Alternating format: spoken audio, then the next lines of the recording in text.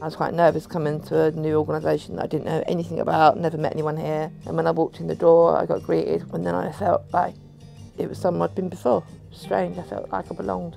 We like to make everyone feel really included in the service. One of the things that kind of makes us very different is the fact that we are non-clinical. We're made up of recovery workers and people with peer support workers as well who've lived mental health experiences. And we're really all about getting people involved in the service to make it what they want.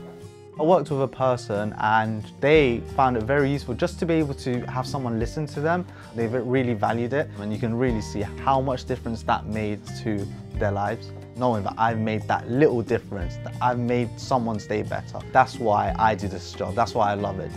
We don't have an exclusion criteria for like mental health disorders or physical health disorders. There's no issue that's too big or too small and we just aim to really just offer emotional support and offer a place of understanding. Compared to other services, we are actually an evening service, so we're open from 5 to 11, which I think is one of our selling points, you know, considering that a lot of mental health services are from 9 to 5. I feel that whoever I speak to, whether it be a booked appointment or an informal drop-in session, that everyone knows what they need. And knowing that there's someone always at the end of the phone, they can't make it in, is also beneficial to me. We're really all about trying to get people back into the community and giving them the tools to help them manage their mental health in the future as well.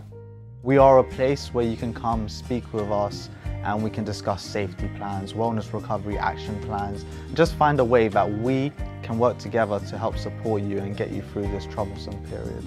Just having a service that you can drop into straight after work or at 9 p.m. or somewhere you can call in. I think that would be really missed if you we weren't here as a service. I would thoroughly recommend Camden Crisis Sanctuary because it's changed my life. It's saved my life.